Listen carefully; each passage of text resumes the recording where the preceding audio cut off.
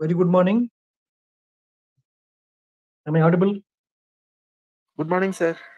Uh, yes, Very good sir. morning, yeah. You are audible, sir. Yes, yes. Uh, um, and uh, thank you for uh, joining us again. Uh, uh, I, I will welcome everyone, each and everyone, for uh, the second day session of uh, the International Webinar Lecture Series uh, by the guest speaker, Dr. K. Rebijit uh, from New Zealand.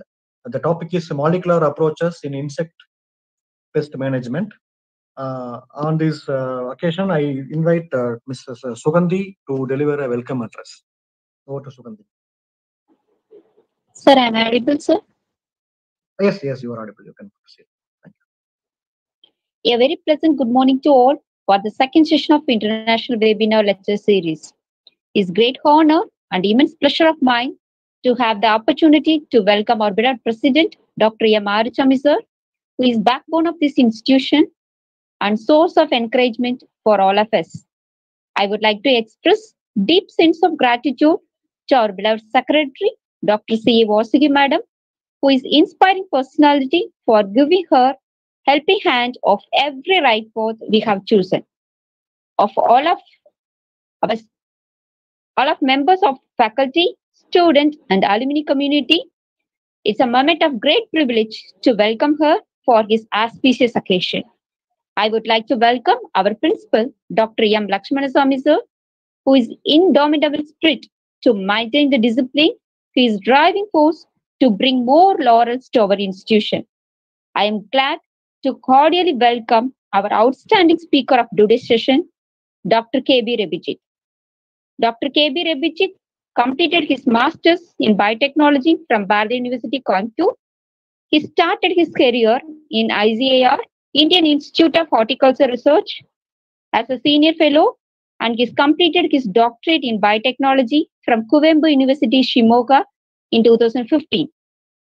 He won Alfred Russel Wallace Award 2016 for his doctoral work from Royal Entomological Society, London, United Kingdom. After his doctoral degree, he joined as postdoctoral researcher at Department of Physiology, Development and Neuroscience at University of Cambridge, United Kingdom.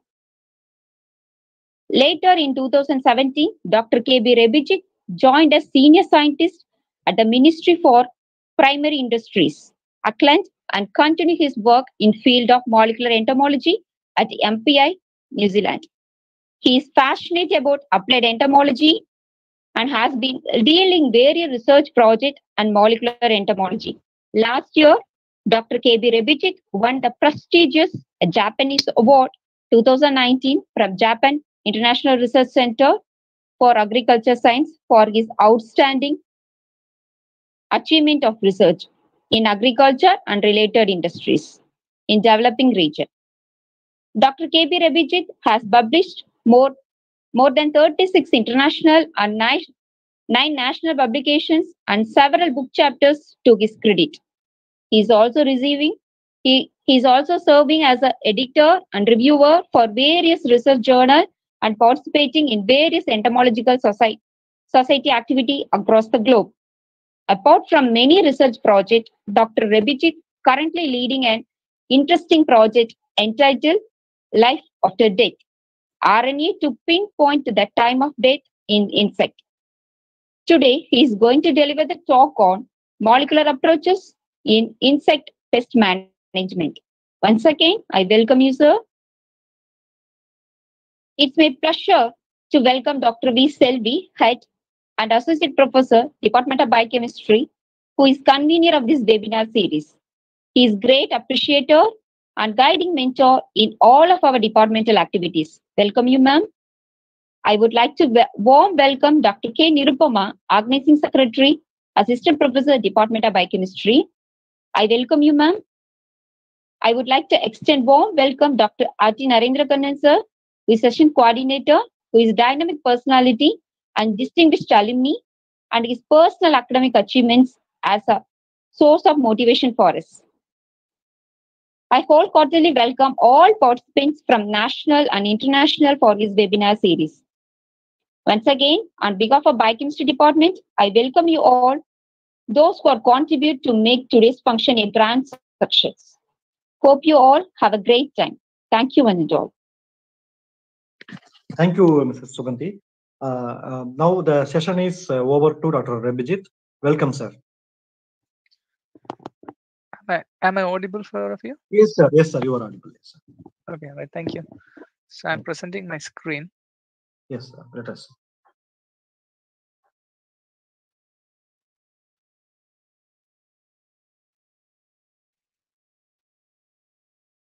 Yes, sir. Your uh, screen is visible. Please proceed, sir. Okay. Thank you. Right. Okay. Thank you for a nice brief introduction. So myself, Rabijit, working as a senior scientist in Plant Health and Environment Laboratory, in short, PHEL. Uh, we are coming under the Ministry for Primary Industries in Auckland, uh, Biosecurity New Zealand. So today I'm going to glance through the work which I did uh, during my doctoral and postdoctoral time. I might just briefly touch upon like the uh, the current work which the work which I'm currently doing as well. So today's talk topic was given as molecular approaches in pest management. So before going into the pest management aspect, I thought I can just glance through what we are doing as an entomologist here in New Zealand, as well as globally what researchers are doing in entomology. So before talking about the pests, so we need to know how can we categorize pests.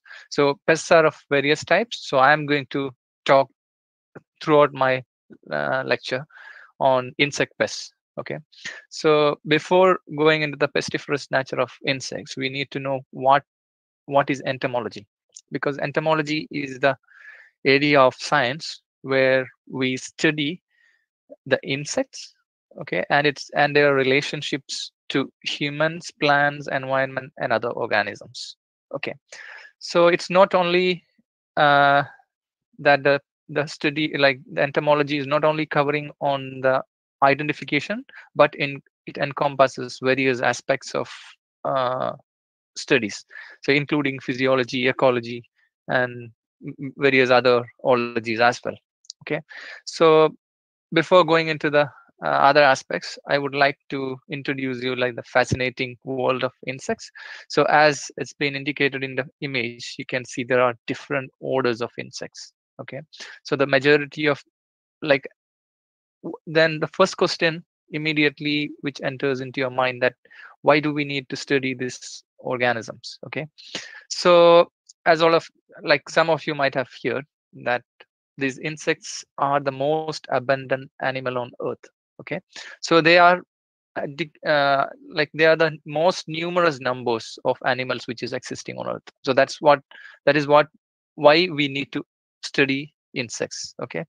So among which you, you can know from the graph which has been from the diagram which has been put here you know these all are different insect orders of which coleoptera which possesses majority of those groups okay? So it it encompasses 38 percentage of the total known species of insects.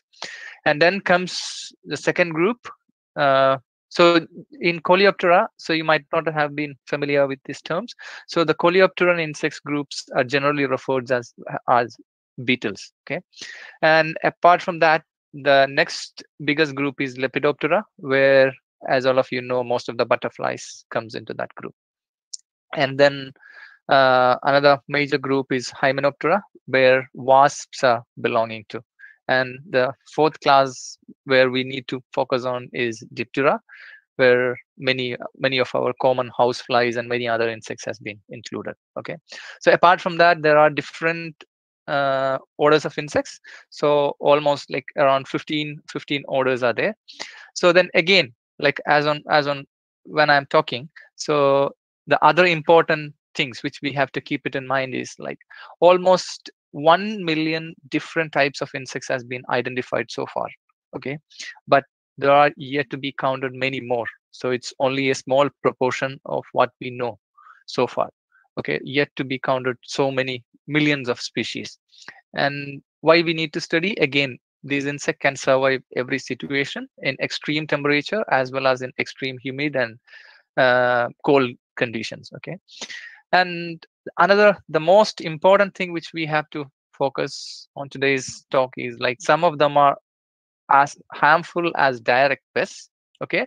So it can directly go and feed and destroy the plant or horticultural crops or agricultural crops. Uh, and apart from that apart from the direct pestiferous nature some of these insects can carry viruses okay? So plant viruses so that's again that's a the secondary effect of their pestiferous nature okay? So they're not only being direct pests but they can also transmit various plant pathogenic viruses. Thereby it can cause more destruction to our agriculture scenario okay? And at the same time like some of you might have familiar with some of the beneficial insects say for example honeybees okay? So it's not it's not like that like some of like most of them are pestiferous nature but some of them are really beneficial to humankind so so now now i introduce like what is entomology and how things are working for an insect scientist right? So the first question before going to a pest management or insect pest management we need to know like how can we identify them properly? Okay for those things like for the identification and classification there are several uh, uh, ways of doing things at it. Like say for example the best and existing one the best existing uh, identification and classifying method is uh, as all of you might have heard the linnaean system of classification okay? So which has been come through systema naturae okay? So which has been proposed by carl linnaeus in 1735 okay so what he has done in his taxonomy is he classified organism into three kingdoms okay? And further he divided into classes order genus and species. So that's how he made that book okay? So and apart from that there are several other classification system which is existing uh, now. So the second one is uh, known as cladistics okay? So cladistics is yet another approach in like biological classification system where organisms are grouped or organized into clades okay? So which is based on the like most common like most recent common ancestor okay? So based on that we can call different names like how how based on characters how we can classify. It's based on again those terms are, we can call such there are various terms okay? Such as apomorphy plesiomorphy and autapomorphy synapomorphy so apomorphy is nothing but a derived trait. That's what i meant like the most recent common ancestor okay based on certain characters. So the traits or the character or the trait uh, say for example in case of apomorphy uh, a novel evolutionary trait that is unique to a particular species okay? And it's not only unique to that particular species but it is present in all of its descendants as well okay? So such characters and can be classified as apomorphic okay? So similarly there are different terms like plesiomorphy autapomorphy synapomorphy homoplasy.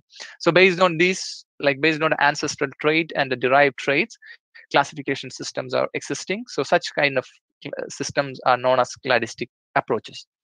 And a third and yet another newly emerging area is the phylocode. So where it's nothing but it's in in general it is known as international code of phylogenetic nomenclature. So the nomenclature has been put forth by based on some of the phylogenetic characters okay? So and it's been put forth by international society of phylogenetic nomenclature. In short it is known as ispn okay? So these are the some of the like common classification system but among them the most widely accepted one is the linnaean system okay? So you might have familiar with the Linnaean system of classification and naming convention. Say, for example, in case of humans, you might be knowing the scientific name Homo sapiens. So where Homo stands for the genus and sapiens as a species. So similarly, we classify insects into its genus and species. Okay. So, and now we need to know like, why do we need to classify at all or identify at all? Okay. So before that, before going into uh, some of the hurdles what we are facing in identification and classification. But i just wanted to introduce few numbers and terms okay?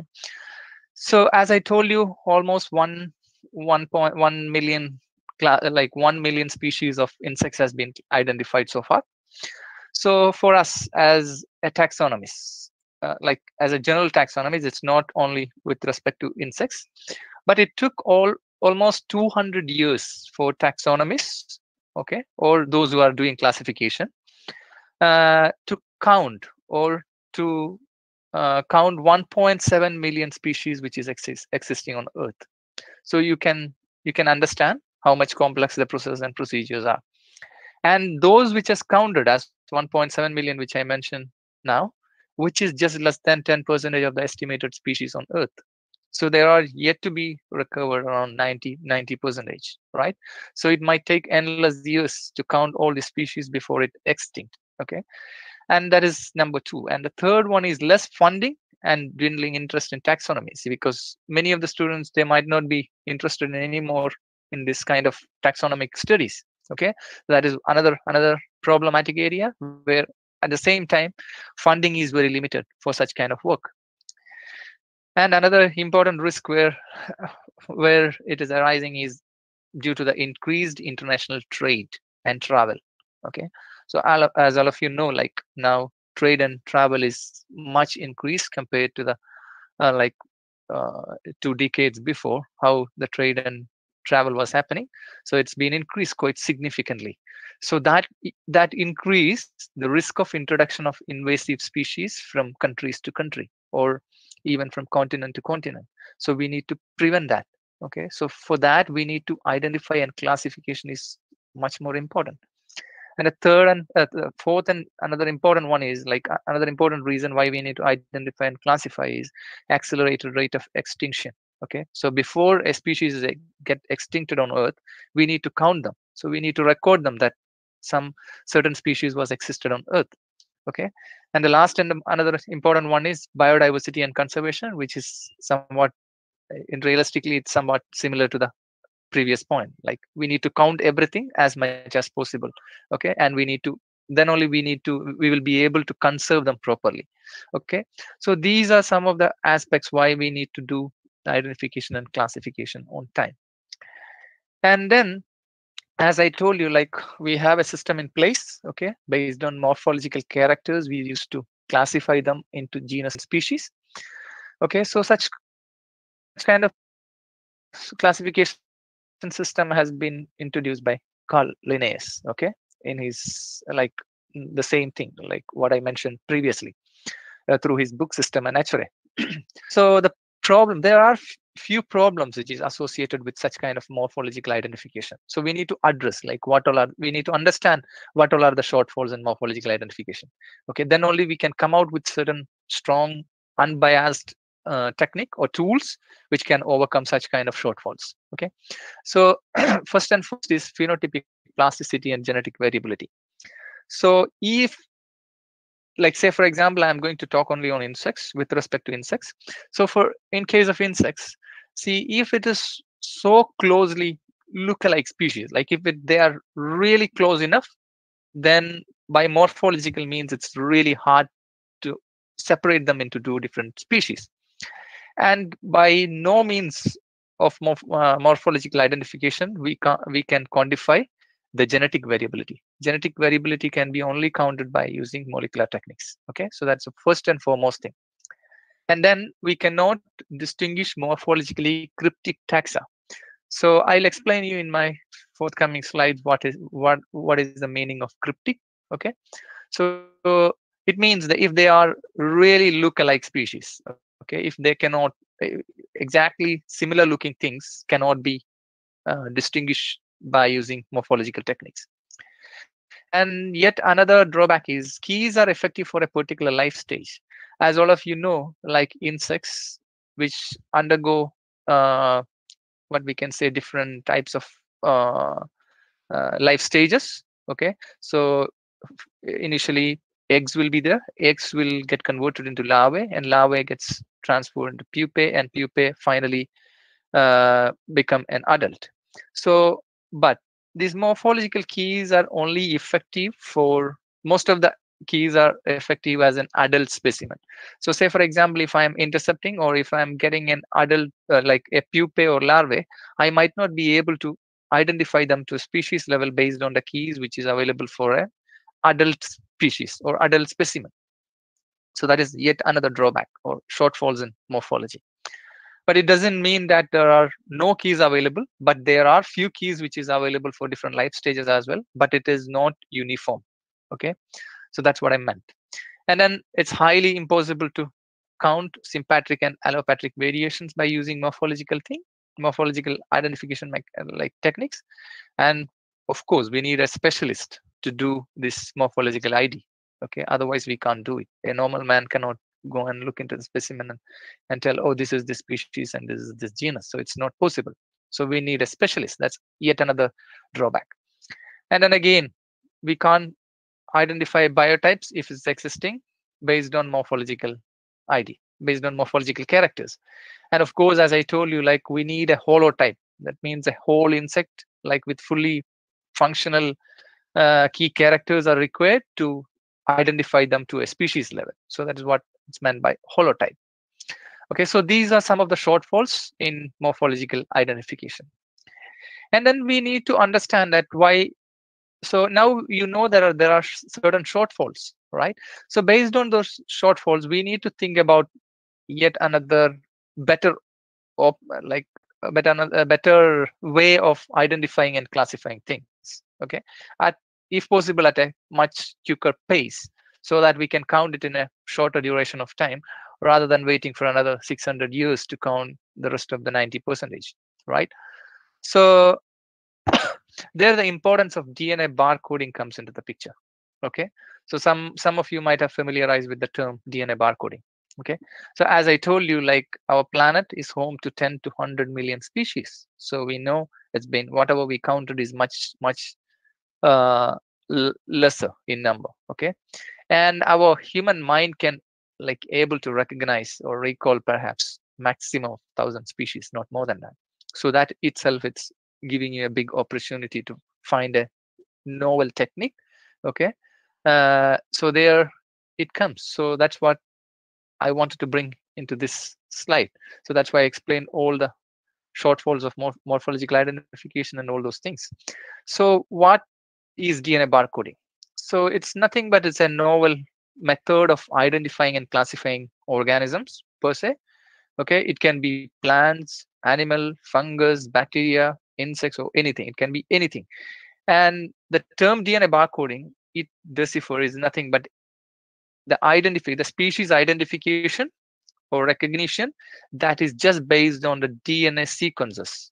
Okay, so that is what the meaning of DNA barcoding. So by using a DNA short stretch of DNA sequence, uh, we will be able to identify the species in question. Okay, it can be in various particular domain of life. It can be from eukaryotes. It can be from prokaryotes. But however, before before getting into the topic, like we need to understand these short stretch of DNA sequence. It can be of various gene region okay so that's what i indicated here say for example in case of animals in general okay including insects we generally use co1 cyt b 12s 16s 28s there are several markers among which the most popular one is and widely accepted and which has been approved by international barcoding consortium was is uh, co1 okay cytochrome oxidase 1 the most widely accepted.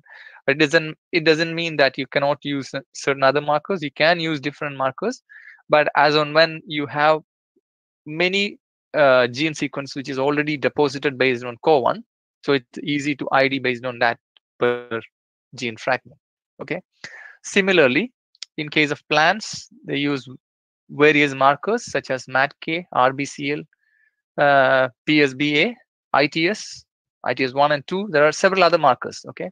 And in bacteria, yet again, CO1, RPO, RPOB, 16S, uh, then tuf gene, RIF. So there, there are various genes which they can use to identify organism. And again, in fungus, ITS, elongation factor, protists, ITS, CO1, RBCL. So there are different markers which people are using to identify and classify organism, okay? So yeah, that is what the, what I meant by uh, DNA barcoding. And effectively, say for example, in the right hand side, you can see there are two different uh, organism or organelle, which is quite important in both in plants and as well as in animals. So in plants, as all of you know, you know chloroplast, right? So the chloroplast harbors its own its genome. Okay, it's it's called chloroplast genome. Okay, so we can use this chloroplast genome much effectively to identify or decipher a species in question. Okay, similarly, in case of animals, of course, in of course in insects, so they they have an organ organelle called mitochondrion. So mitochondrion has its own its gene genome okay? So the genome it consists of consisting of various markers so which you can see here which as i showed here like there are different genes which is present through the mitochondrial genome.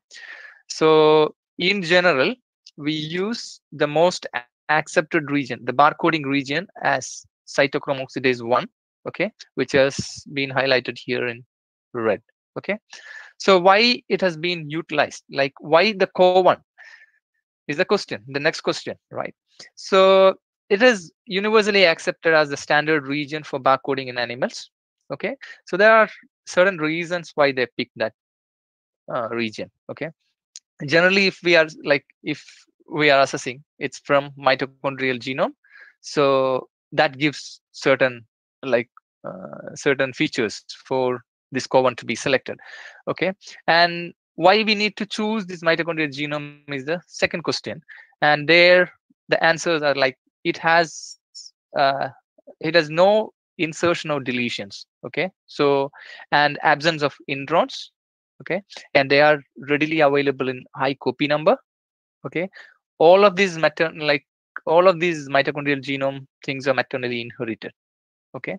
And then coming to co1 why we need to specifically selected co1 is because of two re reasons. One is greater differences among species okay? It indicates better discriminatory power compared to other marker okay? That is one thing. And the second one is lower intra-specific divergence is another re reason okay? That means within the within the species they show lower lower differences okay? But between the species they they will be able to clearly discriminate okay based on its differences. So th those things uh, make them as the bus marker okay which can be used for dna barcoding. So then uh, in my previous slide i discussed with you like some of the shortfalls which is been like which is existing in morphological identification. So can we cover all of them? Like do we have uh, the power for this DNA barcoding technique to overcome all such negative effects is the next question, right? So here I'm going to tell you like what are the advantages of DNA barcoding technique. Okay, the, the first one is they are uniform. Okay, there is no like there is no uh, discrepancies, like there is no differences. So you can use CO1 for various insect orders, across insect orders, or across animal kingdom. Okay, even then you will be able to identify them to species or genus okay? And the second thing is life stage independent. Let it be any life stage. Let it be an adult let it be an uh, pupae let it be a larvae let it be an egg let it be anything okay? Even let it be a small portion of the tissue okay? Let it be a small portion of a leg and uh, insect leg still we will be able to clearly identify identify them to species that's another another yet another important advantages of DNA barcoding. And then it can be used in various studies, like various aspects of studies. Uh, say, for example, in conservation biology and biodiversity. Uh, I'm not sure, like how many how many of you have heard about uh, the term called metabarcoding. So metabarcoding is a like uh, method where we can uh, do enormous number of environmental sampling okay or environment sample through environment samples we can count the species to like count various uh, like organism which is present in a specific area or specific uh, specific uh, what is what we can call in a specific climatic region okay and we can count them so that's why i put the two important in conservation biology and biodiversity studies and yet another important thing is determination of food web okay it can be effectively used in uh, food web identification and of course there are some of the terms which I introduce you like biotypes it can be clearly will be able to identify the biotypes based on DNA barcoding techniques. Yet again, molecular phylogeny can be revealed by using these barcoding approaches. And they are cost effective, can be used in both biosecurity and quarantine aspects. That's what we as biosecurity researchers, we are doing in New Zealand, okay? So, so now we need to know like what all are the steps which is which has been involved in DNA barcoding. So the DNA barcoding procedure is nothing but it's been depicted in the picture here very clearly. So initially we'll get the specimen. Okay, we'll collect the specimen. It can be from a collect. Uh, it can be from a, a person, or it can be intercepted at the border or at the airport or wherever. Okay, so when we are intercepting an insect, so we'll get get it as a specimen, a particular specimen. Okay, from that specimen, what we do is we uh, pull out a small tissue okay from the tissue sample the tissue which we have taken from that particular insect which will undergo for dna extraction and from that extracted dna again we go for pcr amplification by using certain particular markers. Okay most mostly the cytochrome oxidase one which i which I, as i was mentioning you in the previous slide. And then of course we'll go for sequencing. And once the sequence is ready we'll just match it. Okay that process is called matching process is called blast. Okay or, basic local uh, uh, what is that? Local alignment search tool. Okay so that blast process will be can be done in various platforms. So the most accepted platform is bold. Okay uh, barcode of da- barcode of life database. Okay which is you can just you can just type it in google you'll get to know like what is bold database. So there you can you have certain options to do a blast search and find which organism to which it is matching okay? Otherwise what you can do there are certain other uh, web database which is available which is known as ncbi blast okay? There again you can just match your sequence and find which species it, it is okay? And apart from that the bold database has enormous capacity okay which has been hosted hosted by uh, ontario university canada. So what they did was like as i told you like when i'm collecting the specimen i have the collection data like from which, which region it, these insects are belonging and how it's been collected on which host it has been collected. All those collection data can also be submitted to barcode of life okay? Along with a photograph while you are taking the specimen or collected the specimen that also can go into the domain okay? And apart from that if there are any other data pertaining to this particular insects if you or some of your colleague researchers if they know you can share that data also into this particular web domain okay? So it captures everything with respect to a specimen or with respect to a sequence. And apart from that here the bold is having yet another mm, like important characteristic feature. So it accept like your original sequencing trace files so that gives you more authenticity okay?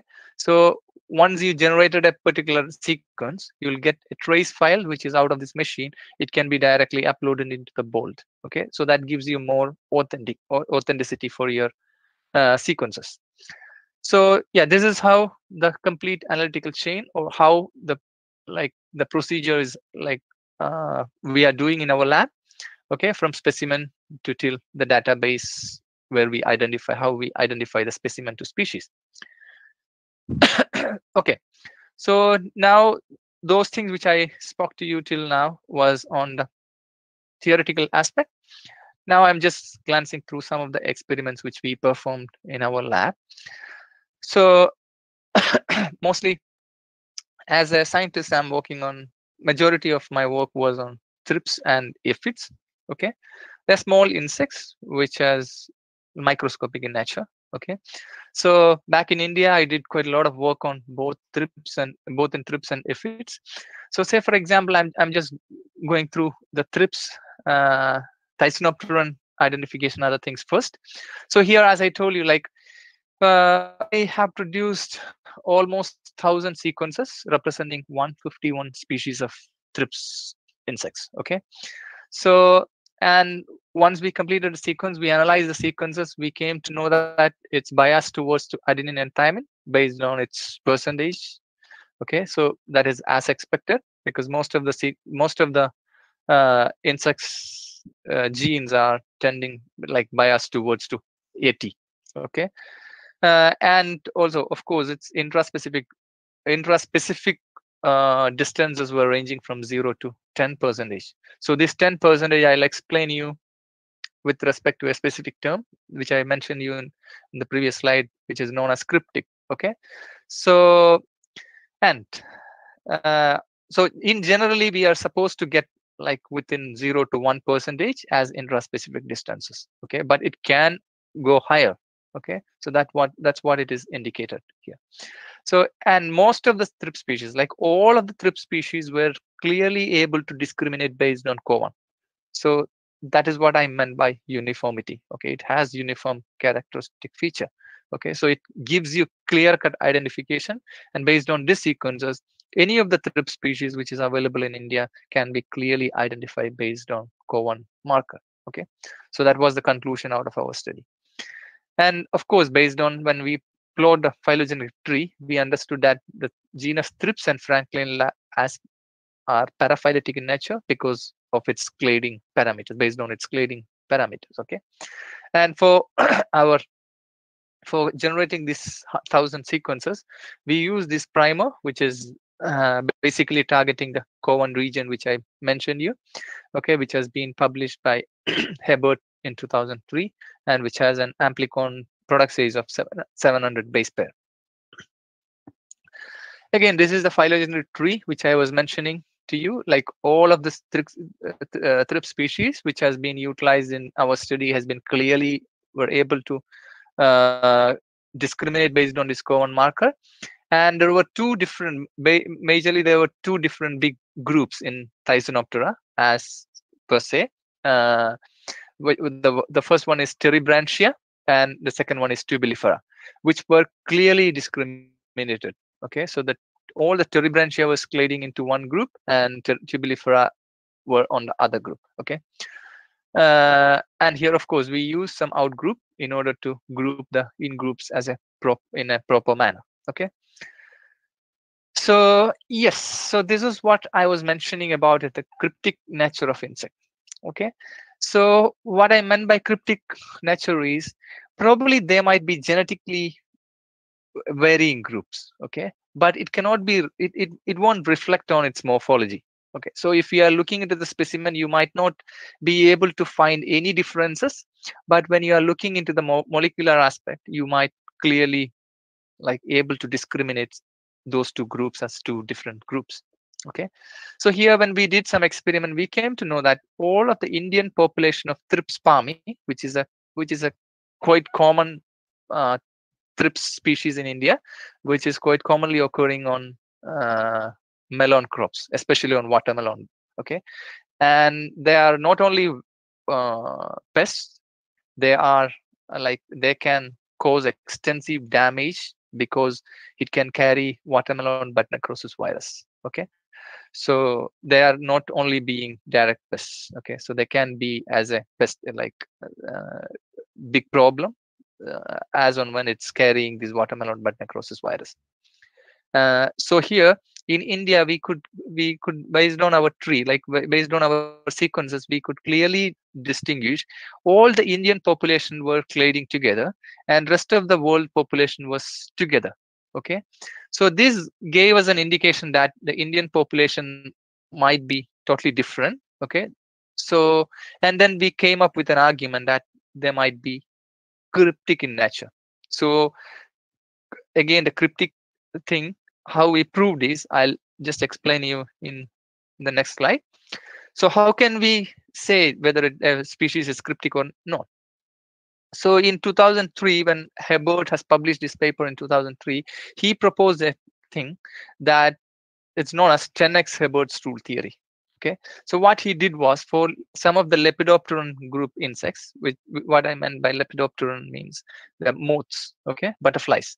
So when he done some experiment on butterflies he understood that the he calculated the inter subcluster and intra subcluster divergence okay. So when the inter subcluster divergence is 10 times higher to that of intra subcluster divergence he, he called them as cryptic in nature okay?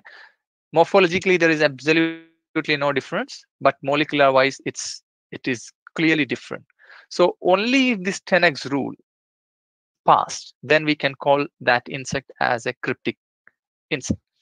So that again that means this cryptic species might like might evolve as a separate species okay as on when it moves forward during the course of evolution like another 30 30 or 40 million years it might be clearly divergent into two groups and it might elevate as a two different species okay? So that's what we like that's what we have been put through in this paper which has been published in florida entomologist okay?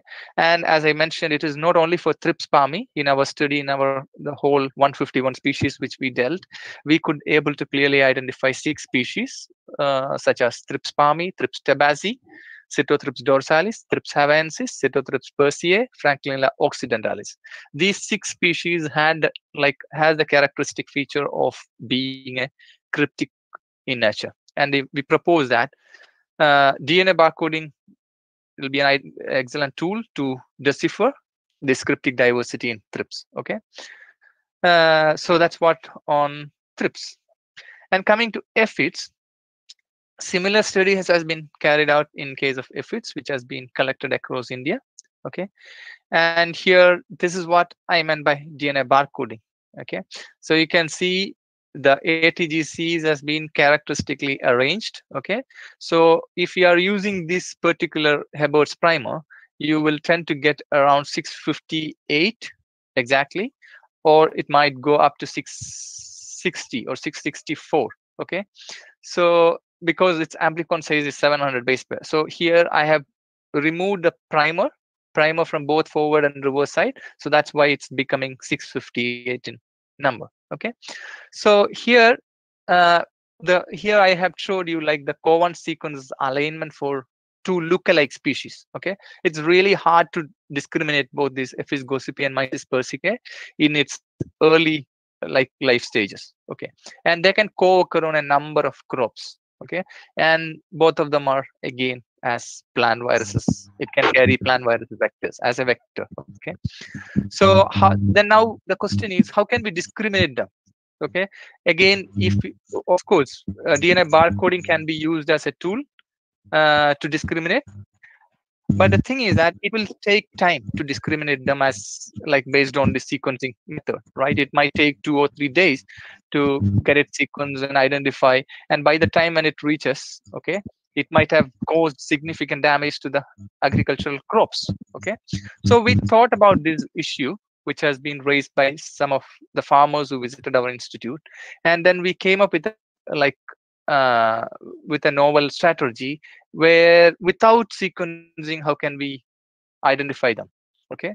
So we came up with an argument like we came up with a strategy where without sequencing we can identify them like in three or four hours time okay. So there we proposed uh, the term of species specific marker okay? So for the first instance what we did was like we selected some of the regions where it differentially binds okay? And based on that differential binding affinity or ba based on that differential uh, like sequence nature so we developed some of the primers okay and say for example for Aphis gossypii our expected product size was 600 so that's this band and for the myzus persicae one it was 429 so based on these differences after running a gel after the pcr method is oh like after the pcr process been completed, we can clearly discriminate it. If the band is of 600 base pair in size, it's Aphis gossypii, and if it's for 429, it is Myzus persicae. Oh, say for example, if it's an Aphis gossypii, totally a different management aspects has been used to control that insect pest, and whereas Myzus persicae, yet another classical, uh, like some other methods can be established. Okay, so there is the importance of the species-specific marker concept and again we published this in a entomologist from USA. So for this we tried like it's not that only based on four primers we did it. We uh, it was a trial and error method. So we designed different sets of primer, okay, and out of which we find the best suitable primer, okay, which can effectively work excellent. So without any giving any cross reaction with close related, closely related species. That's another important thing which you have to keep it in mind. So, and apart from that species specific marker, we did quite a lot of work. Again, as I mentioned, DNA barcoding. DNA barcoding has been done for around 55 species, which is collected across India. And yet again, like all of the species which has been collected across across India has been clearly clearly discriminated based on CO1 marker. And as expected, we could reveal cryptic nature of aphids as well. Okay, three species of aphids out of 35 were revealed, and all of them were for the first time it's been deciphered. Like there are three, three were there. Like one is Hyperomyzus carduellinus, and Brevicoryne brassicae, Brachycaudus helichrysi were the three species again based on its intraspecific versus interspecific distance. Okay, Yet again, this paper has been published in Bulletin of Entomological Research, which has been published from Cambridge University Press. So after that, we didn't stop there in, in case of insects. Yet again, we like uh, we went into the um, phylogenetic aspects of aphids. And for this work, we have been like uh, we have uh, collaborated with uh, Indian Institute of Science, Bangalore, and why we like went into the molecular phylogeny of aphids were like despite several studies has been conducted the phylogenetic phylogenetic aspects of various subfamilies within the aphididae it's a huge uh, super super family are not being resolved in, in in its complete term okay?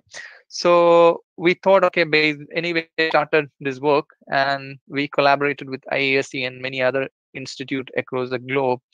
And our study has clearly provided some groundbreaking re like results based on uh, like both mitochondrial as well as nuclear gene phylogenetics okay?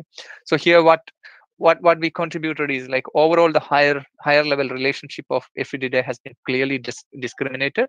So it's all been grouped into proper proper terms and we have uh, we have come up with various sister relationship between like various subfamilies. Say, for example, in case of Aphidae and Microcyphinae and Ceratophidae and Phodinae.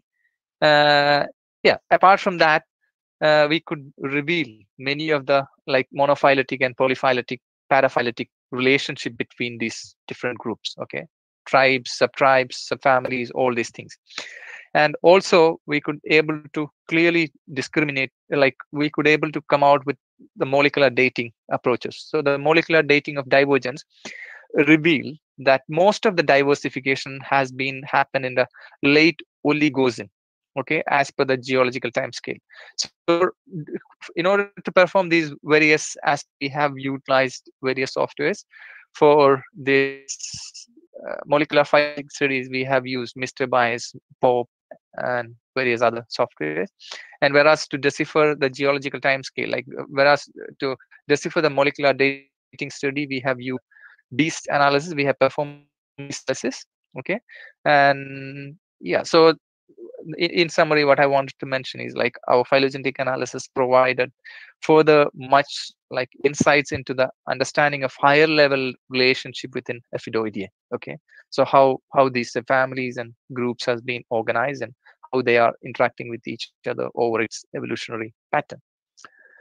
So that's that was till my work which I completed during my PhD and postdoc, and currently as a scientist in New Zealand or uh, working on biosecurity might not help me all this technique. So we need some real-time procedures, protocols in place, which can give us answer, an answer within one hour or two hour time. Okay. So why is that required? Say, for example, as I don't know, have you heard about the like uh, the biosecurity in New Zealand? So we are a particular group who works on biosecurity aspects for the for our country for new zealand okay? So here what we do is we don't allow to settle any alien insects bacteria viruses uh, to settle in new zealand okay? So we identify identify at the border okay? If it has got through border we have post border techniques to screen them and to eliminate them or to eradicate them okay So say, for example, an insect has been intercepted at the border when a passenger comes from India or from certain, certain other parts of the globe, captured at the airport. Okay. So, and if it's been captured, it's not not only through passengers. We, as you know, like as I mentioned in my talk, that trade is a big thing now. Okay. International trade and travel is a big hazard. So through trade components as well, we got we get in like uh, insects are supposed to get into the country okay as both dead and alive. So we always look for dead and alive insects and we need to identify them okay and as quickly as possible to take a preventive measure in place or to have a proper management aspect for that uh, particular incident right? So for that what we do is we we need a uh, very peculiar assays to be developed in our lab so what we generally do is like we do the real-time PCR assays for various insects. Okay. So for example, here I showed you one of the fruit fly species, which is known as Bactrocera cucurbitae. And New Zealand is the only one country which is completely free from fruit flies. Okay. And so we don't entertain kind of fruit flies into New Zealand. We are very keen on. Okay. We have different assays for different species, which can be like immediately processed and we'll be able to get an identification one or two hour time. So for here, I as I showed you here, we develop our own our assays, okay, and which will go for IANZ accreditation. Okay, so IANZ is a particular body, something similar to ISO 9000 in India, where we get accreditation system for our assays which we developed in our lab. Okay, so here what we do is we develop primers and probes which work specifically for that insect, and once it's been developed, we'll like we'll check its specificity, repeatability, reproducibility, everything based on series of series of tests which has been uh, like done on a real machine, which is an exp- expensive machine. And then we have to like if we want to go for an accreditation system as i mentioned you like we need to check various parameters to negotiate uh, it's about its specificity and sensitivity. Probe concentration bsa concentration primer probe annealing temperature extension magnesium chloride concentration sensitivity specificity. All these things has been adequately verified. And once the assay is ready we can clearly tell them that the sensitivity based on the serial dilution technique will be able to even capture even a single nucleotide like single molecule of dna if it's present in that uh, area will be able to capture it okay? So based on this technique what we right now what we are trying to do is we are going a step ahead based towards to edna environmental dna so if dna alone even if it is comes through our border we'll be able to recognize. So that's what we are moving ahead okay? So yeah so it's not only barcoding and species specific marker but we have certain other things which is in place uh, which is known as real-time qpcr assays. And it's not only qpcr assays as again as i mentioned it, like uh, we have certain ongoing research programs as well in our lab. So here we do quite a lot of research on various diagnostic aspects where we do two important things. Are lamp assay development it's nothing but loop mediated isothermal amplification. Both of these techniques are in general it's known as isothermal amplification okay?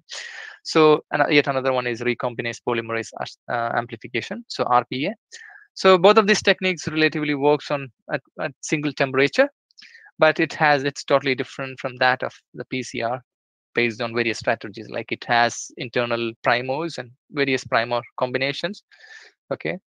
So it's it's generally it's much much of a complicated technique compared to a qpcr or pcr method okay? But there are some modern diagnostic tool which has getting ready uh, for its utility in our border and post border scenario okay? So yeah that's what i just wanted to mention in that slide. So that all are the ways to identify insects okay? So now we need to know like okay we identify then what is the question. So in order to like understand like how we can manage this the first question was like the first thing we need to identify them. Then only we can go for management Okay, so as a pest management technique, I would like to introduce you one of the molecular method which we utilized in our lab. So here I'm going to talk about RNA interference, which is a Nobel Prize winning uh, concept, RNAi, or which is uh, otherwise which is known as gene silencing. Okay.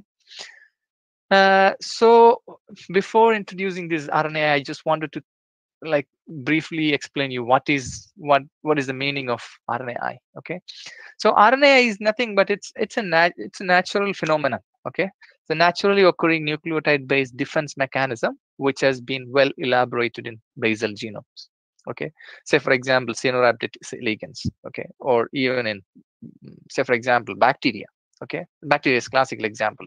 When bacteriophage attacks bacteria, okay, bacteria knows how to survive okay even if it's an attack is happening okay so that's that's where this rna that's what i told a naturally occurring nucleotide based defense mechanism okay so then how can they how can they do that so it's through controlling the gene expression that's how it can be done and for what it, for what it is happening naturally it is just to protect its genome okay against various uh, elements which as i mentioned here in retro retro elements okay transposons, RNA viruses, etc. Okay, there, there, could be anything. It can harm a genome.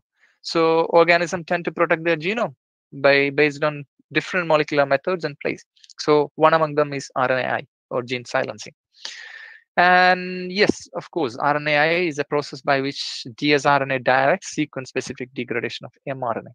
So that's why I, on top, gene expression.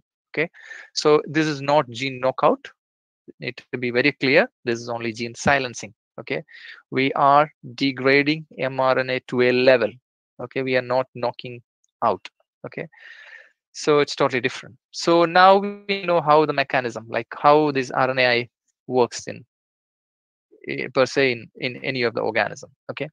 So say for example as i told you like when a dsrna comes into the body or comes into in, into the cell so normally any any animal groups which they possesses an enzymes called a group of enzymes called dicer so dicer dies these dsrna into small fragment which is known as siRNA. It's nothing but small interfering RNA. Okay. So once the siRNA has been produced, immediately a group of protein, ribonucleoprotein complexes, which is known as RISC. Okay, RISC. So RNA-induced silencing complex protein okay? So which comes and takes over this siRNA molecule. Once it's been taken over the RISC getting trans like it's get transferred into an activated RISC complex. So by the time which gets activate become an activated RISC it will retain only one of the strand which is known as the guide strand.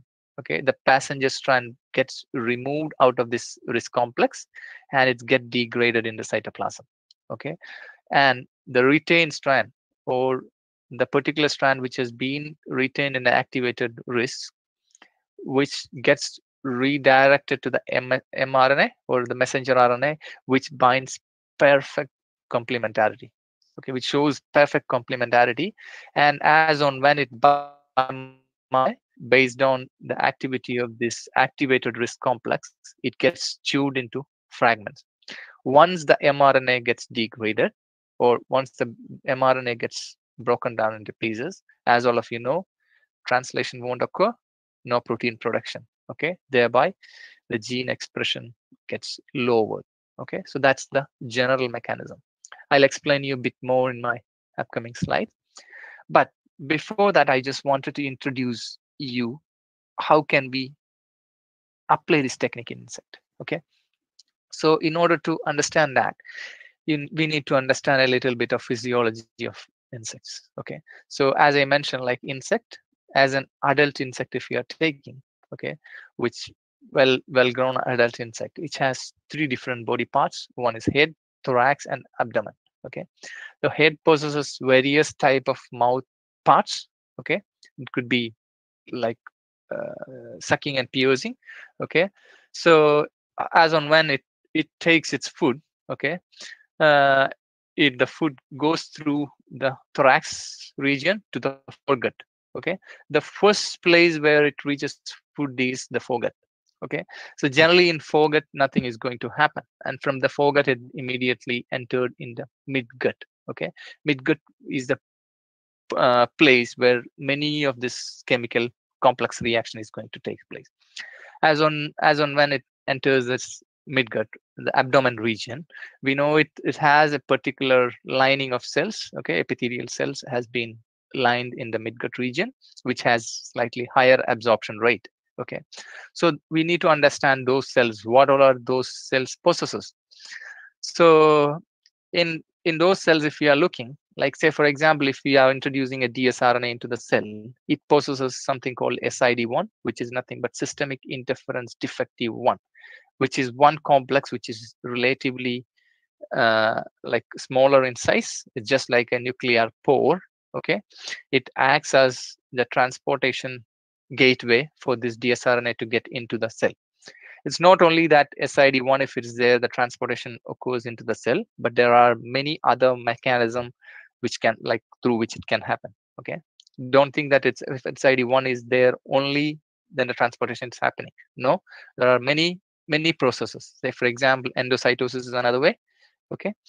So but apart from that like most of the cells which has this sid1 okay?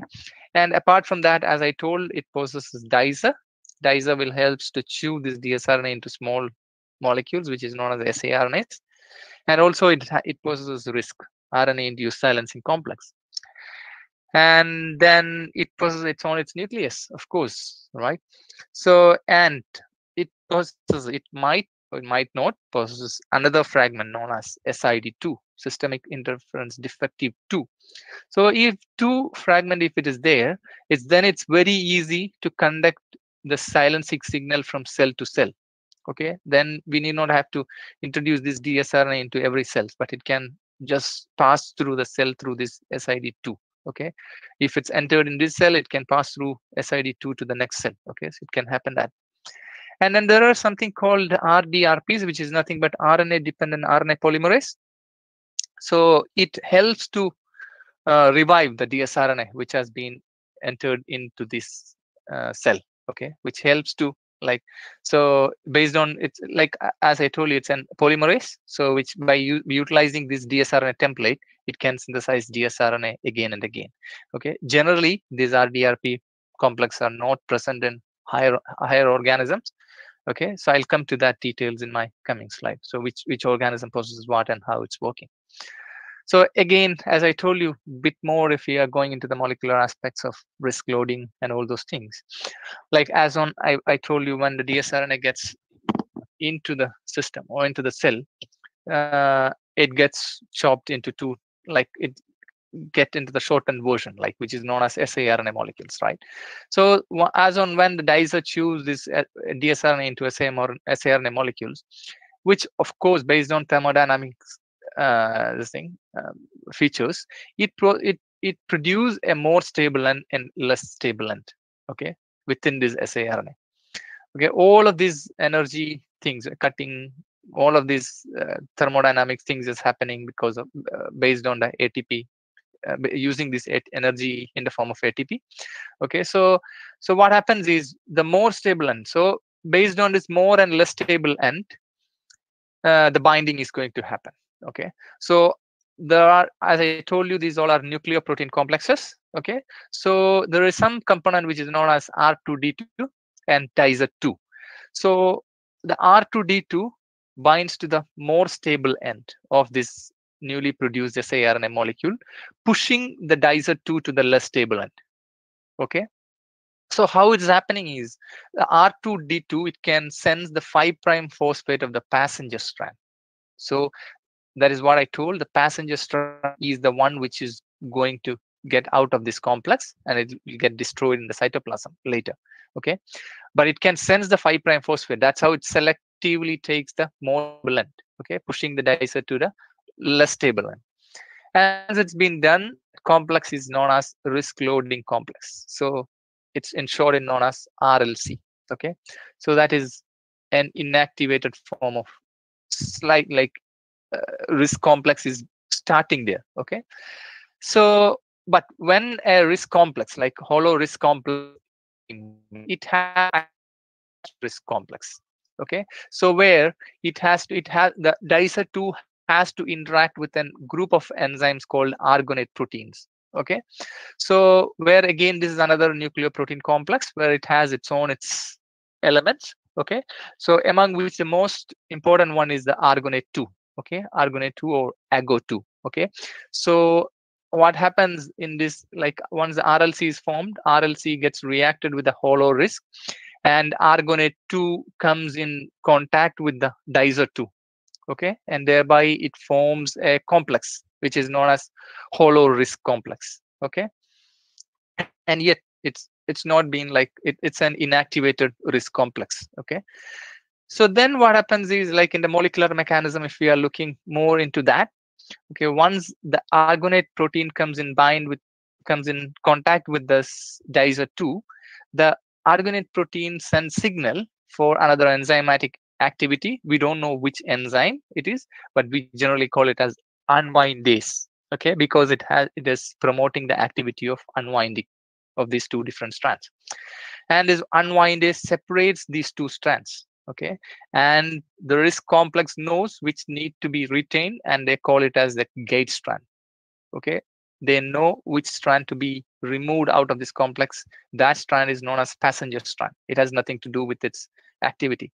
So it gets out of this complex and it'll immediately it gets destroyed inside the cytoplasm okay?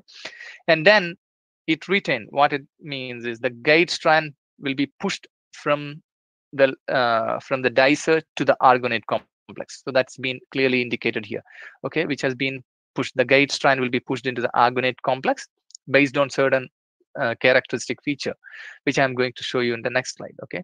So so based on certain characteristic feature will be pushed into the argonate uh, argonate complex of that particular risk complex.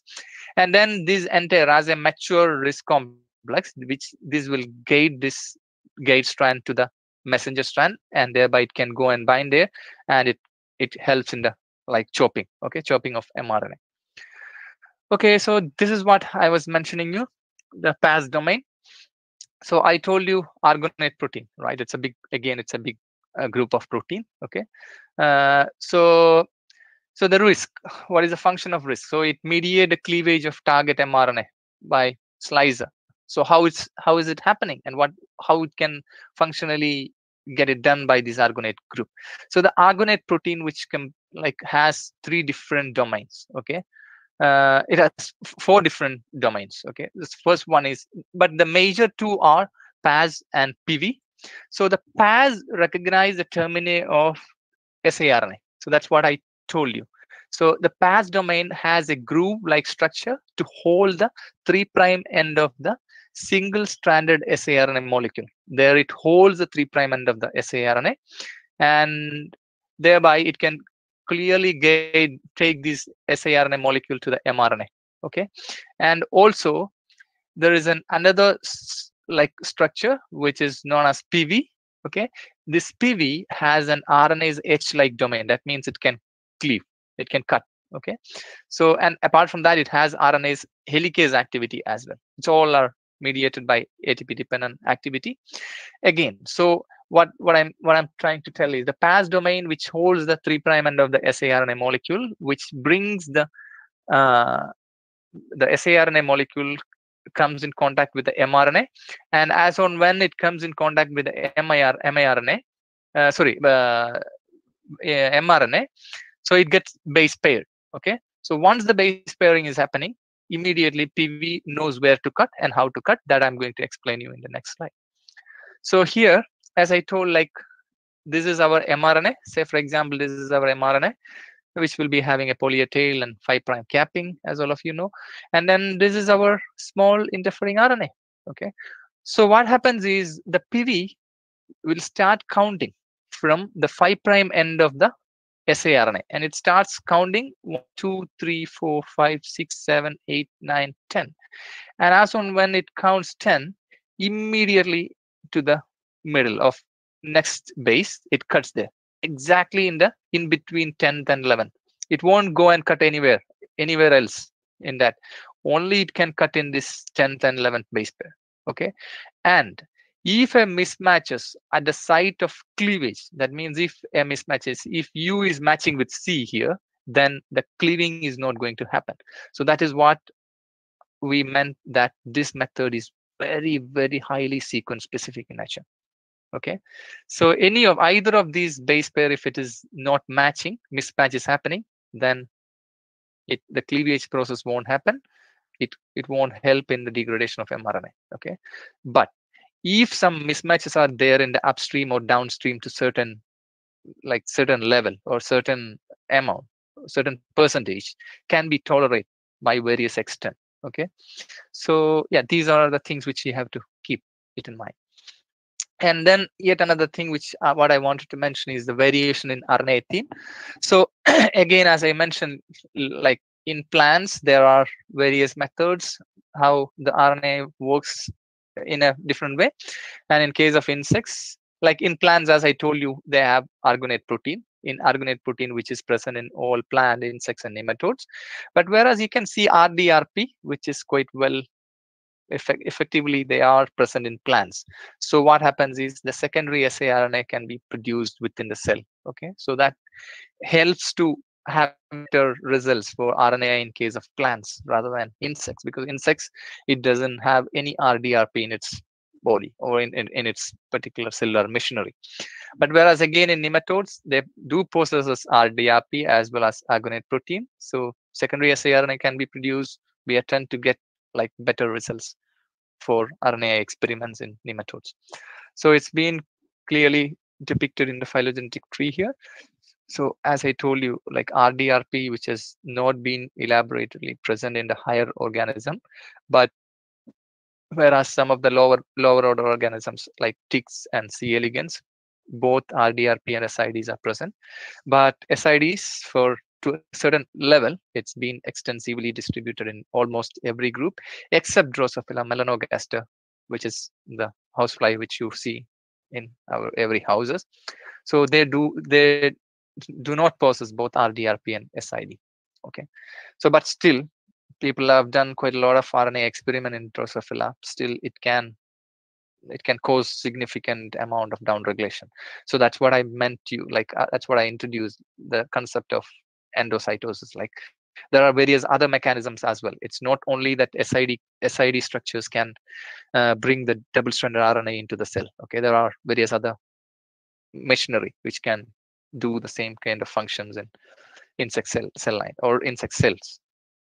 So apart from that we need to know like we need to understand which all are the genes which we can target to have a better pest management strategy all right?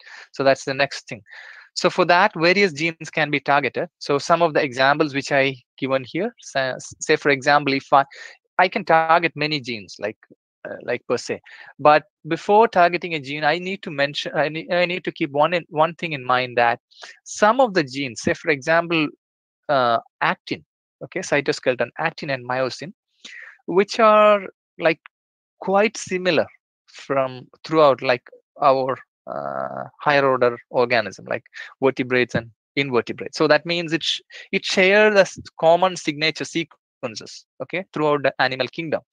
So if you are designing a dsRNA specifically for actin and myosin, it might or might not work with some other organism as well. So it might cause a non-target or off-target effects okay so need to be really careful in selecting the genes which we need to what we need to target okay?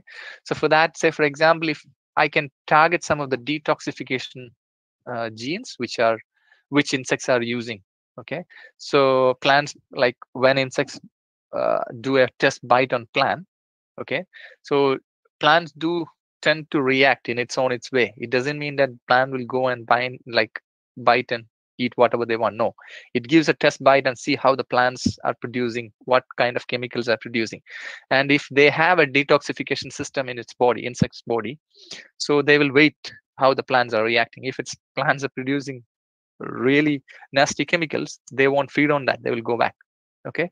So there are certain detoxification enzymes or like uh, detoxification genes, which are quite keen to like uh, to negotiate the uh, production of uh, what is that uh, plant uh, allelochemicals okay when which they produce during the test bite of an insect.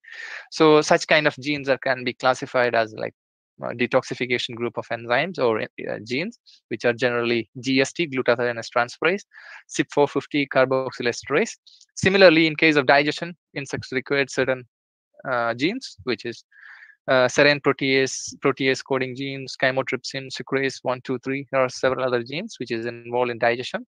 Metamorphosis, of course, that's another important thing. So this is what I was talking like the conversion of from one uh, phase of the one phase of life to the other one. So egg get metamorphosed into the larvae, larvae metamorphose into pupae, and pupae metamorphose into adult. So for these metamorphoses, the process of metamorphosis requires some kind of enzymes or genes which need, really need to be uh, quite keen to get along with that process, which are generally which is known as juvenile hormones. Okay, and JHAMT is yet another gene. So I'll I'll go much into the details of JHAMT and JH synthesis. Okay, as an example, and then again cytoskeleton, actin, and myosin. But keep it in mind, I told you this is very like we need to be very Uh, like very specific when using these kind of actin and myosin genes okay in our experiment and yet again nerve impulse transmission acetylcholinesterase this is another group of highly vulnerable gene which again it can be of having off target effect if we are not very specific if they are not very specifically selected midgut ph altering one VATPAS, VATPAS, other classes A and E and all. And then pheromones, fatty acyl desaturase are the classical one, and olfaction like OBPs and CSP. OBPs and CSPs are nothing but odor and binding proteins and uh, chemosensory proteins. So that means insects do tend to use their olfaction, like how they can smell quite heavily, like based on the smell um, affinity they use to select their food. Okay, so yeah, we'll. So these are the general way how we can classify some of the genes, and you can choose whichever the gene which you wanted to target okay. So i'm going to talk few of them like very keenly but before that i just wanted to give you the advantages of rna strategy. So most of the things which we were already discussed like dsrna rather like uh, why we need to use like dsrna technique is rather it's it's it's much more uh, specific and sen sensitive okay compared to the antisense uh, uh, single stranded antisense rna technology okay so you might have heard about the antisense technology. So yeah it's much better compared to the uh, ss antisense rna technology. And high degree a high degree of specific gene silencing that's what i meant by sequence specific. And molecular uh, potent and effective method okay? And silencing can be introduced into different development, developmental stages. That's what i already told. We can target some of the metamorphose genes. That's another thing. And systemic silencing. So it's it can cause systemic silencing. I'll talk to you like on systemic silencing while i'm presenting some of my results. Okay? So that means it can pass from like pass from cell to cell very quickly. Okay? So that's what i meant by systemic silencing. And high level of safety to the non-target organism. If we are very peculiar in selecting your like very particular in selecting your gene targets then it is very specific and ex, ex, uh, excellent safety for the known target organisms can be acquired okay? Silencing effect can be passed through generations that's another it, but it is not possible in all the experiment but certain things like sometime it might be passing through generations okay? And compatible with any other insect pest management you might have heard about this bt technology okay bacillus thuringiensis bt cotton. So it's compatible with such kind of technique. And then we need to understand like after developing all this dsrna and all those things how to develop like how to administer right? So that's another thing. So we can give as a per os feeding like we can feed the larvae or we can introduce the dsrna through a semi-synthetic diet. And apart from that in lab in lab procedure in order to start an experiment we can use the micro injection method so yet again like there are as i told you like when we are doing an experiment we know that there are certain factors which influence the success of our experiments right? So similarly like sometime it might affect like if we are giving higher concentration of dsrna the result might be better okay? Sometime if you're reducing the concentration of dsrna it might be giving better results. But these all are things like which we need to do experiment trial and error method to find which how it is influencing but some of the factors are like concentration of dsrna length of dsrna persistence of silencing effect. How long it's persisting. Uh, nucleotide sequences are they really keen or very uh, like are they very what is that clearly dis- discriminating from species to species? And how can we do that? All these things okay? And can be it's another yet another important thing is which life stage to be targeted okay? Sometimes larvae might give more potency compared to adult okay? So we need to target at that time the larval um, uh, pest management okay? So here as an example i'm going to go through two experiments okay? The first one i'm going to talk about the juvenile hormone this is what i was talking to you like in metamorphosis right? So before setting up an experiment we need to understand some of the physiology of insect and how these things are working in in its body right? So before going into these details you, i need to introduce the uh, like the term uh, because insects do possess a brain okay? They have a like they have a particular region in brain which is known as ca which is corpora allata okay? Where this juvenile hormone synthesis takes place. In order to do this uh, in order to synthesize the juvenile hormone which requires a uh, what is that pre-molecule or pre-existing molecule which is known as farnesoic acid which has been synthesized from a series of uh, like chemical reaction. Okay? So here what happens is in order to convert this farnesoic acid into juvenile hormone it requires an enzyme which is known as which has been encoded by a gene which is almost 1.2 kb in size which codes for juvenile hormone acid methyl transferase. So this enzyme converts the farnesoic acid into juvenile hormone so say for example if i can block this ghamt gene the conversion of farnesoic acid to juvenile hormone is not going to happen. So that means the metamorphosis can't happen in larvae or any other life stage. So what happens is complete cessation of larval feeding. Larvae cannot feed. Okay. As a result, larvae will die. Okay. So that's one method. Say, for example, if I cannot, for some reason, I'm not selecting this, then the juvenile hormone will get produced. And then still it requires the second way. So the juvenile hormone is not only in corpora allata, it has to be transported to various various uh, parts of the body through hemosyl. Okay. So what happens is for that, it requires yet another binding protein. Okay. To transport this produced juvenile hormone to reach its various area of its body or various uh, what is the various tissues in their body okay? So for that they use jhbp so if i can block this jhbp jhbp is nothing but juvenile hormone binding protein. So it's been indicated his square bracket okay?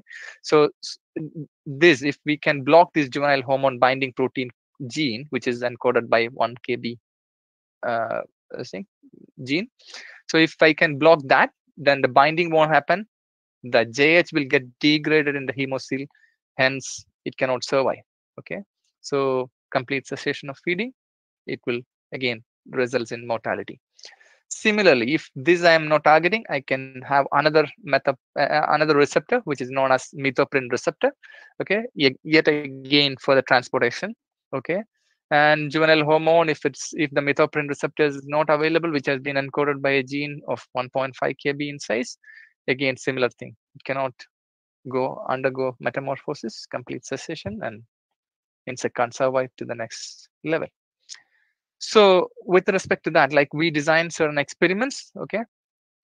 So here we targeted like various genes okay? So here we targeted jhbp and then obp2 i'm going to explain you in the next next part of my slide so we'll we'll wait for that. So, but still, you need to understand that we designed three sets of primers. One is for PCR. PCR means what I meant is I amplified these particular genes, OBP2, JHBP, VATPSH, and acting as an internal control. I used to validate my qPCR experiment.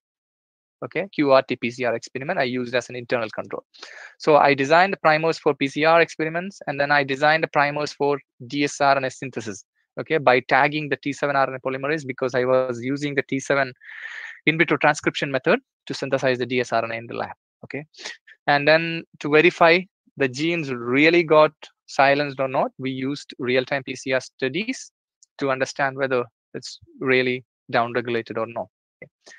So, based on my PCR primers, we amplified the products, like we amplified the genes, various genes from aphids, Aphis gossypi. Uh, so, and then we produce a phylogenetic tree to assess whether are they matching with the uh, similar similar group of uh, genes in uh, in the what we what we say phylogenetically closer organism, and we claded them appropriately, and we came to know that yes, they are clading properly, and they all are good. The sequence wise, it's it's exactly same. Okay, and then again we we use VATPSH. It's again mm, VATPSH is an active transepithelial cation transport uh, helping gene which has been encoded in insects okay so what happens is if if we are blocking this VATPSH pH alteration is is going to happen in its body okay especially in the abdomen so we expected some shrinking in in its body because of its the, the pH uh, change pH alteration okay? So we'll come to know like how is it going to affect in the body? And that can significantly cause mortality okay? And JHBP also it can cause significant percentage of mortality. And we done the experiment. As I told you by using in vitro transcription method I synthesized the dsRNA and then what we did was like we in order to the, deliver the thing deliver the dsRNA as I mentioned we used a semi-synthetic diet method. So what we did was like we prepared a sucrose diet for aphids uh, and we done a parafilling feeding method okay? Because these aphids are phloem feeding insects okay which generally have strong stylet that can penetrate the xylem cells without rupturing them okay? And it can reach the phloem cells to suck the phloem sap that's how it generally feed on plants. So we need to devise that kind of a, that kind of an experimental setup. So what we did was to, we sandwiched the sucrose diet along with the dsrna molecule in two diff- like in between like uh, two parafilm layers so that it can penetrate through one of the parafilm and it takes the sap okay?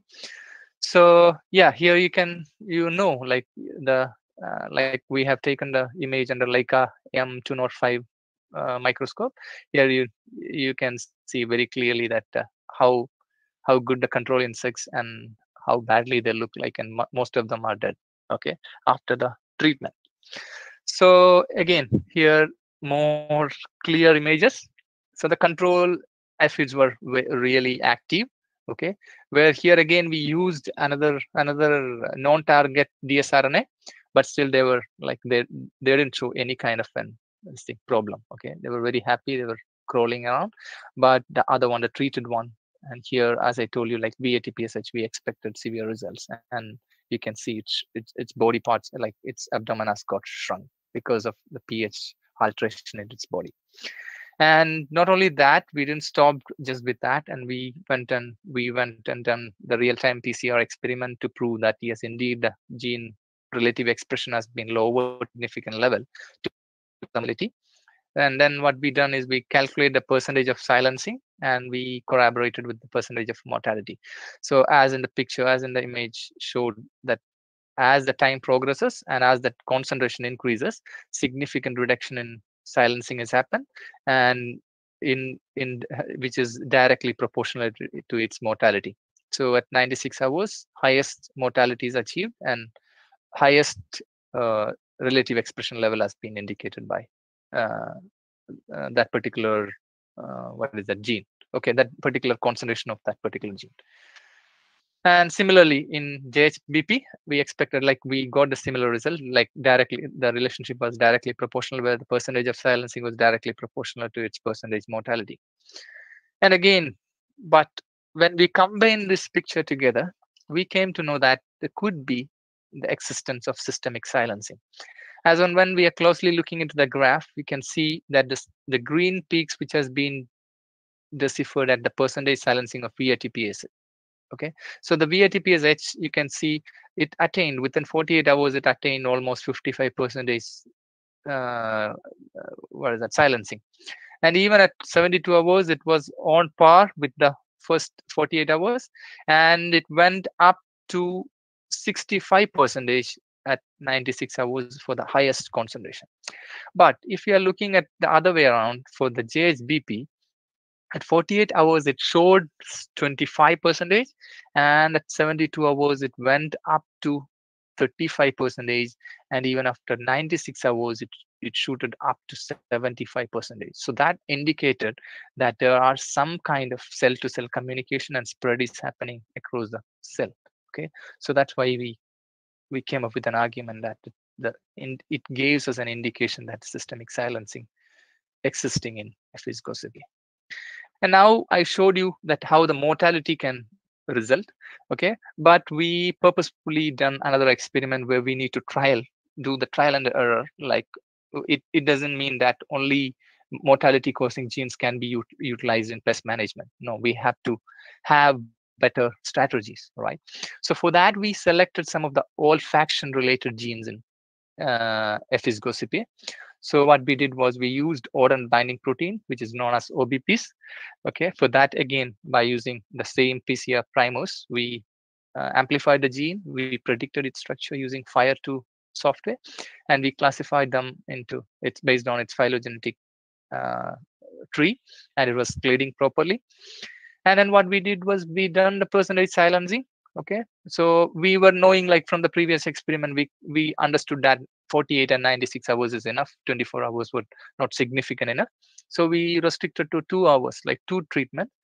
And then what we did was like as i told you this obp2 won't kill the insect okay? So what it does is it it reduces the olfaction okay that's all. So we need to measure the olfaction are they really able to recognize the smell? So that is the question here right? So for that we devise another experiment which is known as eag electroantennogram response for that insect. So which is which we have done with a small uh, like small experimental setup in a different lab where they had this EAG facility, electroantennogram. And what we did was we just cut the head portion of the insect and which has been connected to an electroantennogram. And we gave three, uh, four different clues. Okay. So the first one was sucrose, which is a diet. They, usually they can, we assume that it can sense its smell. Then we gave honey, and then cotton. Cotton is the host plant. Of course, they can recognize the smell of cotton. And then we done we given another chemical which is known as indole. Indole is an oviposition attractant for insect. Okay, and it can help to identify the suitable position to lay their egg on the plant surface. So of course, we know that indole is a chemical clue uh, as an oviposition attractant and can smell. Okay, so we calculated okay. So from the experiment we came to know that 96 hours has given resulted the best uh, down regulation of that gene. Okay. So the relative expression was so low at 96 hours. We picked those insect species and we did the eag response study. So in eag response what we find was like it was showing specific degradation. Like it was showing lower responses. So how we measured was here, I have showed you the electroantennographic response. You can see that we use LAC-Z control here for as a control, apart from the non-treated control. So you can see the LAC-Z control, is it was giving a clear cut spike. Okay, it was clearly giving an indication that it is recognizing. But whereas in RNA treatment, you can see it showed critically reduced responses in all of the treatment like cotton, sucrose, honey, and indole. But whereas in DS RNA like DS LAC-Z control, which were showing clear cut peak that it can clearly discriminate, but whereas the RNA treated it showed clear cut diminishes uh, diminishing effect in its recognition of smell. So in summary, what we what I wanted to conclude is that diet mediated knockdown of target genes in, is an invaluable tool for insect pest management okay? Rnai studies also proved that like in Aphis it's not only those genes which are quite keen that it can result in mortality can be used for insect pest management okay?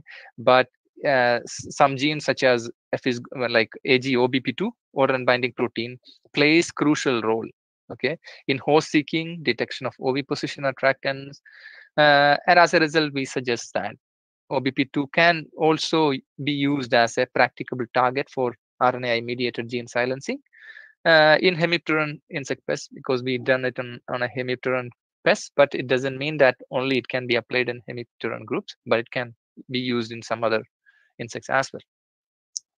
And to conclude that, uh, currently we are like we in uh, MPI as a biosecurity being here in New Zealand.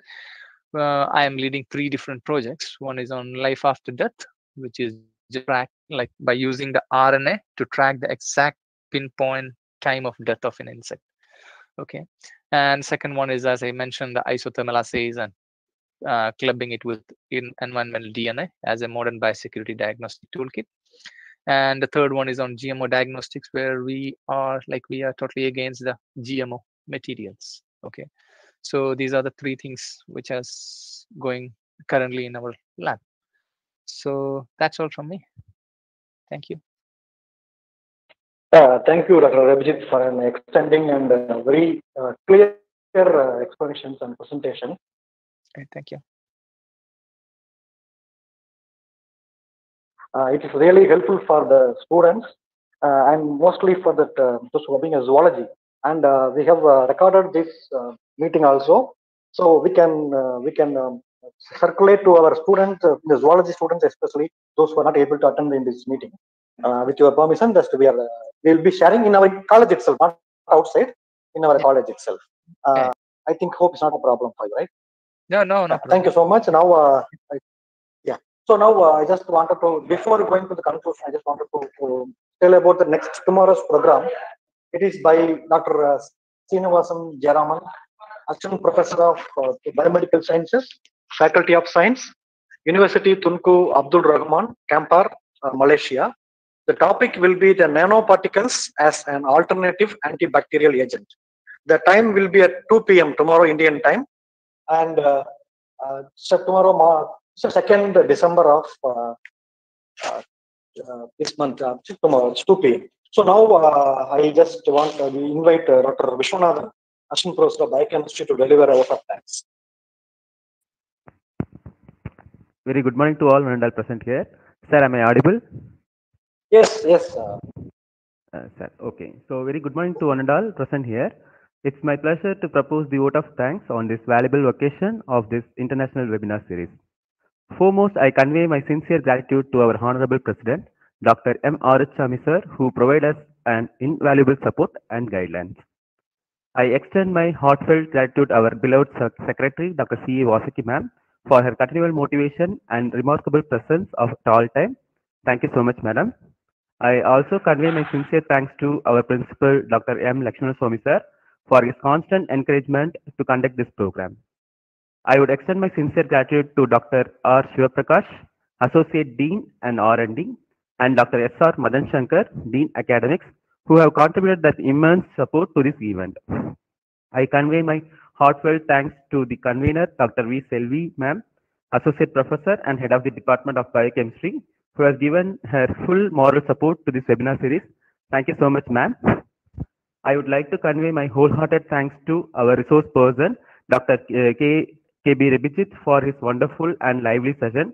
This session, which he dealt on the title of Molecular Approaches in Insect Pest Management, has really enlightened our knowledge. Hence, the entomology is new to some of our participants. Dr. Rebijith clearly explained the basics and brief introduction about entomology. Then molecular approaches, which he explains for the insect pest management, is a key to us to explore our knowledge in the insect biology. And also, it's a real eye-opener to us uh, to understand about the molecular approaches such as uh, DNA barcoding, qPCR assays, siRNA, etc.